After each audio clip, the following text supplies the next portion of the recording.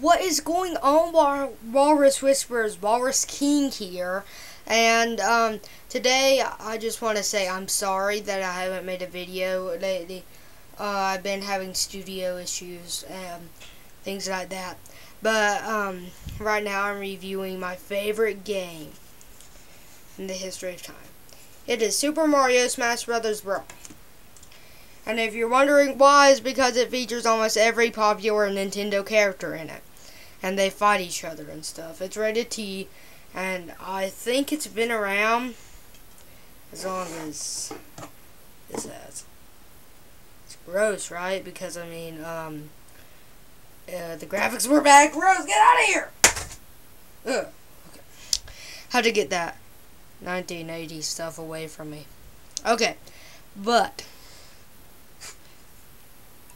why this is my favorite game is because it features video game characters that you probably didn't even know that existed. Like Mr. Game & Watch. Did you know he existed? Um, Wario. They changed Wario's whole design in this game. He looks like a gangster. I wish I had a picture of him right now. Um, uh, I was gonna grab my, uh, Nope, that's going to cause an avalanche. But, um, right now I, um, I'm just nervous because my, the, uh, the Super Mario Brothers 64 game is just give me a creepy look. It's, it's gross.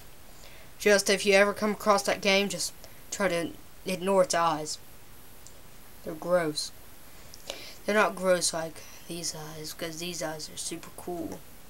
But, um, my true opinion on this game is get it if you come across it. It's a really nice game. You can play with your friends. You can select your friends' names and stuff. Things like that. You can do all of that just in this one game. And I got mine at Game Stop. Yeah, I think. And I might do a video on some gameplay just so you can get a taste of how good this game is. And sorry, um, the game's still looking at me creepy. Creepy. It's like a creeper. But it, creepers don't look at you. That game does, man. I'm serious. And I'm going to review that game soon, and it's probably as old as... It came first out on the PlayStation uh, and you could get uh, Master Hand as a player, and just a big hand that looks like this, and it does this. That's all it does. And I'm sorry, Walrus Whispers. I'm going to upload videos more frequently from now on. Sorry, it's just kind of a break. Um, had to take a break, and uh, kind of going to treat this like an update video from here forth. Um, uh, the Lego series isn't going to continue. I'm just doing gaming from now on. Because gaming's really my hotspot. I ran out of Lego stuff to review. So, and why I haven't reviewed this sooner is because I couldn't find my game.